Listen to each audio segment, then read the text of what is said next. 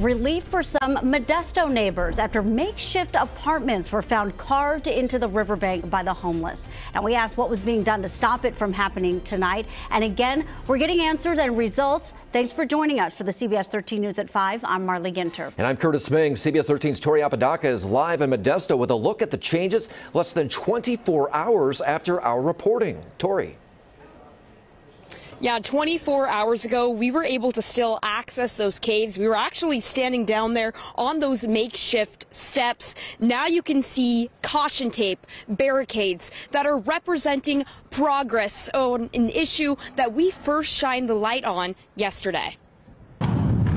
Movement in Modesto barricades and caution tape to keep people out of hidden homeless caves along the Tuolumne River. People were actually taking this serious as a safety hazard, which is what I've always identified this as. On Tuesday, Tracy Rojas, as you can see, it's quite well hidden, took us inside one of the eight caves that were cleared out over the weekend. Someone has spent a lot of time building this and putting this together. Shelves and everything. Shelves. You got to be kidding me. Some neighbors having no idea about the rent free living happening 20 feet below them until we showed them. I'm just calling to see if anyone is available to talk with us. We continued to take the community's concerns to the city and police, getting no direct answers on a plan moving forward.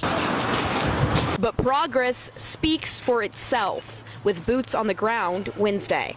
When was the last time you monitored that area? Because there's a home under there. Neighbors finally feeling heard, but now calling on more change along Crater Avenue.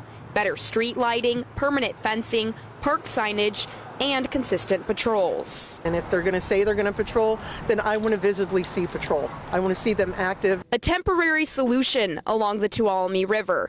But will it make an impact for an issue rooted in people trying to seek refuge? A fence ain't going to stop this, no. No, not at all. What do you think will? Uh, give them a place to live. And many of those city crews that we spoke with today said that they had no idea such elaborate infrastructure existed along this river. One of them actually told us that they even saw a homeless man in one of the caves when they went down there to put up those blockades today.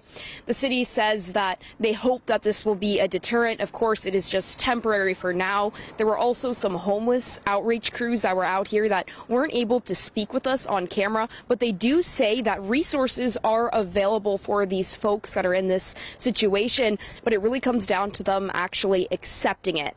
Right now, though, there is no timeline for how long these temporary barricades will be up. And of course, we will continue to ask the city and police department for more change in this area as a lot of people still want to see more movement and progress here. I can definitely imagine that they do because those caves have gotten even more sophisticated yeah. since the first time we exposed them more than a year ago. Mm -hmm. So glad to see some progress out there. Tori, thank you.